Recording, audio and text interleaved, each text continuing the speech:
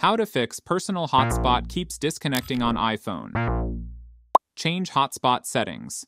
First, open the Settings app on your iPhone. Look for the option Personal Hotspot, tap on it. In this, find the option Maximize Compatibility and toggle off the switch next to it. After turning off, check if the personal hotspot has been connecting or not. If it is disconnecting then, turn off low power mode. First, open your iPhone's Settings app look for the option Battery and tap on it. Here, toggle off the switch next to the low power mode. Now, go back to the home screen and check if the personal hotspot has been connected or not. If it is still disconnecting then, prevent auto lock. On your main settings page, scroll down and tap on the display and brightness. Again, scroll down and then tap on the auto lock. Here, change the auto lock time to the never. Now, verify if the personal hotspot has been connected or not. If it is disconnecting then, turn off Wi-Fi Assist. First, open the Settings app on your phone.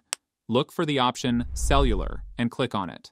Scroll down to the bottom of the screen and find the option Wi-Fi Assist and toggle off the switch. After turning off, check if the personal hotspot has been connected or not. If it is disconnecting then, turn off low data mode. Open the Settings app. Click on the Wi-Fi option. Here, click on the eye icon beside your connected Wi-Fi network. Now you can see the low data mode and toggle off the switch next to it. After turning off, check if the personal hotspot has been connected or not. If it is disconnecting then, force restart, press volume up, then quickly press volume down. Hold the side button. Don't slide to power off.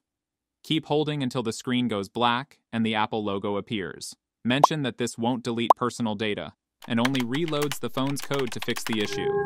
After force restart, check if the personal hotspot is connected or not. Now you can see that the personal hotspot has not been disconnected. And that's it.